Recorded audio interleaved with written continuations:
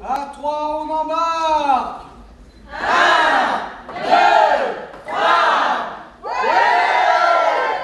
Alors on voulait faire un, un peu un théâtre euh, déambulant, donc euh, ambulatoire pardon. On commence dans la BU, donc euh, sur un bateau, et ce bateau va faire naufrage. Et tous les naufragés vont être répartis en autant d'îlots où il se passe des histoires, les unes mystérieuses, les autres plus tragiques. Et donc le public va suivre un petit peu ce fil rouge jusqu'à la fin et le dénouement de, de toutes ces histoires.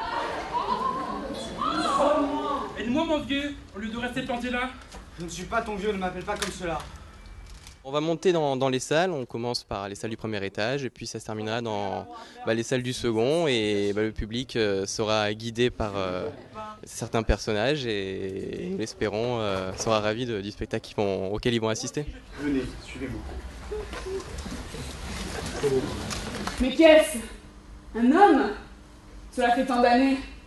N'as-tu point entendu parler des Amazones? Chaque histoire est complètement différente. Euh, Il y a des personnes qui vont, qui vont devenir folles, des personnes qui vont ne pas supporter d'être sur l'île. euh, Et puis les ambiances seront différentes, euh, notamment grâce à un jeu de lumière, des couleurs variées, vert, bleu, suivant le- l'ambiance de la scène. Sans détour, sa pensée vous livrera. Soyez de mon temps que je me présente. Vous êtes en présence du capitaine Louis-Auguste Marlowe. Mais appelez-moi capitaine. C'est les élèves qui, qui ont écrit euh, la majeure partie de, de chacune de ces pièces avec une inspiration de chaque auteur. On a euh, des inspirations de Dante, euh, de Philippe Danvin, euh, enfin des, vraiment très larges, hein, d'Aimé Césaire, euh, pour ne citer que, cela- que cela. Et puis après, on compte sur euh, le, charisme et sur euh, la personnalité de chacun des, personnages de, cette pièce, euh, de ce théâtre vivant, pour, euh, donner, euh, pour faire voyager tous les, tous les spectateurs vers euh, les contrées lointaines que nous leur décrivons.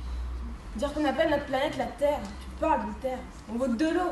Oh, excusez-moi, monsieur, où est-ce que je pourrais faire un brin toilette Ma foi, vous n'avez que l'embarras du choix. Vous trouverez de l'eau tout autour de l'île.